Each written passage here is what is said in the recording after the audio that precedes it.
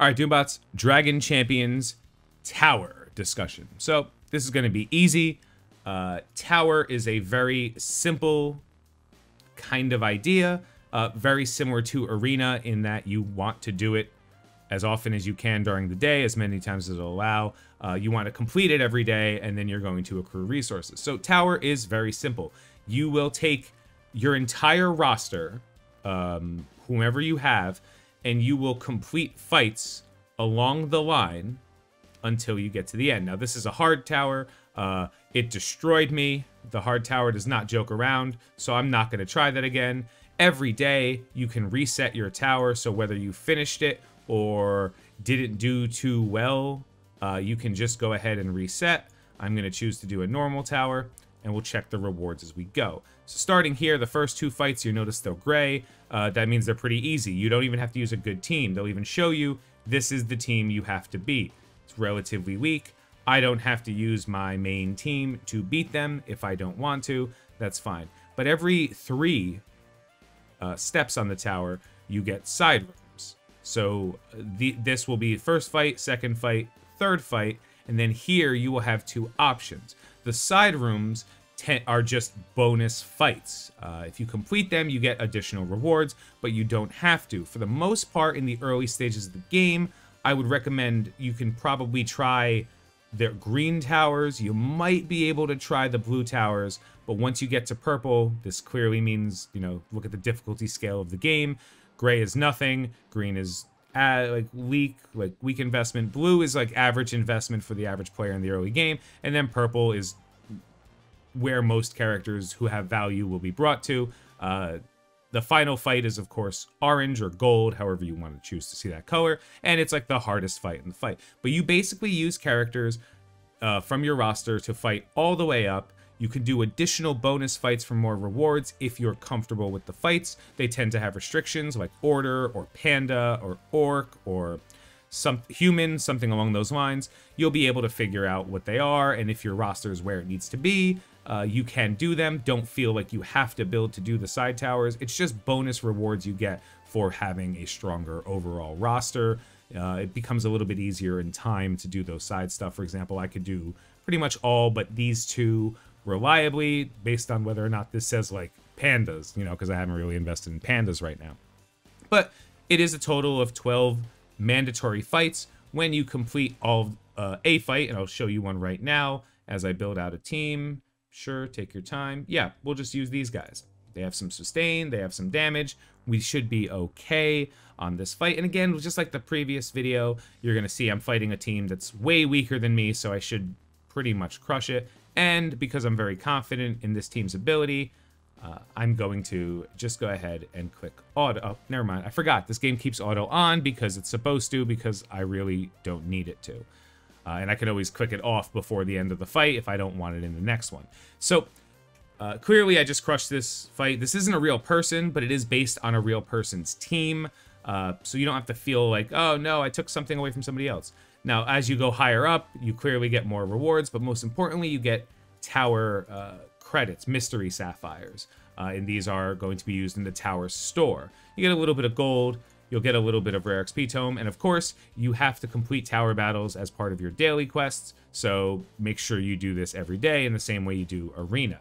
Once you get to this point, you'll see that the next team on the list is maybe a little bit stronger, but you know, 30 level 35 to my 52, power this. Again, this is another fight I can easily auto. You can kind of see where their placement is. So obviously the first guy right here is the leader, and then everybody else goes wherever. I will talk about placement in a separate video, but in general, just to touch on it because I mentioned it, uh, the only character that matters as far as placement is concerned is the leadership position. Uh, characters with leadership in that position, which is the first slot in the middle, uh, will give the team whatever their buff is, depending on how you build the team. Everyone else, uh, this game doesn't have adjacency. You either attack everybody or you attack three random people, it doesn't really necessarily matter where they are. So you don't placement on this team doesn't make too much of a difference except for the first person. Uh, other than that, that's pretty much everything when it comes to tower. Once you've completed tower a hundred times, whether it be uh, the hard mode 100 time or this one 100 time, you can now auto the tower. I have only done it six times. This feature was not available in the game when I first started playing it, and I have not done tower since then. So this is about six days of me completing the tower and trying the hard tower a couple times, but I'm just currently not in a place where I can easily do the hard tower, and I don't want to spend the extra time when I can just click auto. Now we have all of that conversation done. We're going to talk about Mystery Staff Sapphires and the store they come in. So again, just like the Arena uh, shar, uh, store, the Tower store allows you to buy character shards, and some of them are of immediate value to you. Venomate being a very good early game demon and pretty decent late game demon. Mortha not necessarily being a good end game healer, but in the beginnings of the game, she is a, a very easy to access, free to play orc that is a healer and a reasonable one at that. Uh, Puncherface is a demon that's not good, but again, very similar to Mortha. You can use them in the early stages of the game. Robin Bad, same thing, mediocre human. And Fao is uh, an okay panda. So in this situation, you would buy whatever character makes the most sense for you. For me, it would be Mortha because I'm trying to seven star her. For some people, it might be Venomate you know, whatever works for you, whatever you're currently working on, whatever uh, is good for you, or maybe you have an idea of building a team, that's what you're going to build here. Uh, this is not a store where you're going to get a ton of resources. There's a very hard limit to how many you can get a day based on whether or not you complete the tower. So in reality, you're probably not going to be able to make more than one or two purchases from the store a day. It does refresh every eight hours. Uh, you can force a refresh for Dracoins. All of that basically just means you want to pick a target in this store and buy the character shards uh, to help you get that target. Nothing crazy here. Uh, outside of, of specifically this, there's really nothing else to discuss regarding Tower, but the one thing I do want to say before we go anywhere else is when it comes to uh, getting extra value. So these side rooms that we were talking about, they do have different requirements. And the earliest one and two tend to have requirements that are order teams and clans teams. So one of the things I keep advocating is in the early stages of the game, regardless of whether you're spending a ton of money or not, the first two teams I would recommend working on are orcs and humans. Orcs are a very good self-sufficient team that will be useful for a very long period of the game. They're also relatively early access. There's a lot of nodes to farm the characters, and a lot of the characters are, are received through things like completing achievements and random milestones. You'll get a lot of Tromgar and Rantha shards from that. So because orcs are that easy to access and because humans are that easy to access in the early game, if you build up your orcs as your clans team and your uh, humans as your order team, you will pretty much almost always be able to do the side rooms as well as complete the campaigns you have to do.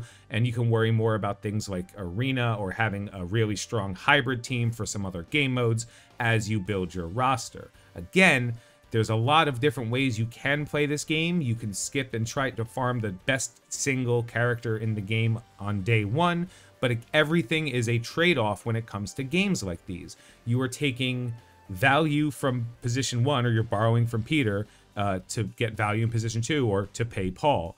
If you want to be really, really strong in Arena today, you're going to lose more battlegrounds than you're going to win because you can't really invest in that many good teams um, versus the, the one team you're working on. If you want to be really good in in tower, you're going to have a wider investment in your roster, which means you're probably not going to have a very high arena score.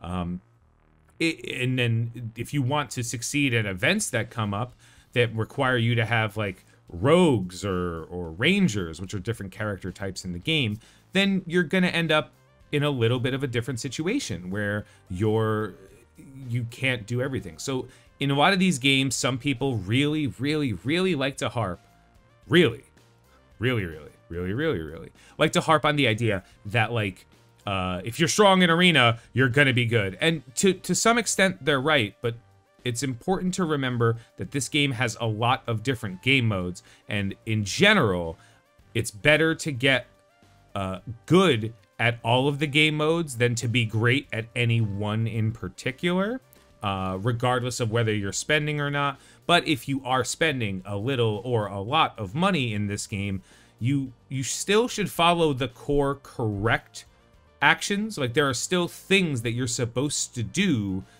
that are smart and, and well built, but you can use your money to do them faster, which will accelerate your time into getting into whatever the next best thing is. Or if you're spending that much money, you could do multiple things at one time and not worry about it. So I don't think there's any one right or wrong answer for how to start or who to work on. Just feel out the characters you get and know what they're supposed to do. Since some characters help each other, since some characters are easy to access, always look at the game from a perspective of, well, if the character is easy to access at the very early stages of the game, it's probably not a great end game character. But if they're early to access, if they're early access uh, characters, then they're probably going to be useful early. And then keep that in mind as you invest. I've said before, you don't have to worry about how much you invest in a character if you're below level 60 because level 80 is the cap. So if you feel like you're putting gear and uh, resources into a character that just doesn't make sense to you because you're like, well, this character is not going to be good in endgame. Don't worry, the amount of gear it takes and resources it takes to invest in a character before level 60 or 50 or whatever is is truly irrelevant compared to the amount of gear it takes to finish a character at the end of the game. So don't feel like you're wasting resources because what you're using your resources for is intelligently building out to get to the end game. That's my uh, shtick on this. Hopefully you guys enjoyed it. Comment below and let me know if there's anything I missed about Tower. Uh, I didn't specifically talk about Hard Tower because Hard Tower is literally the same thing as Easy Tower, just harder. So if you can beat Hard Tower early, congratulations. You're doing way better than I am at level 52. But, you know, it, it's all based on some percentages and goes crazy. Anyway, have a good night. Have a great day. I've been Tony Scungili, and I will catch you later. Last thing, Tony's Gift, promo code. Enter it.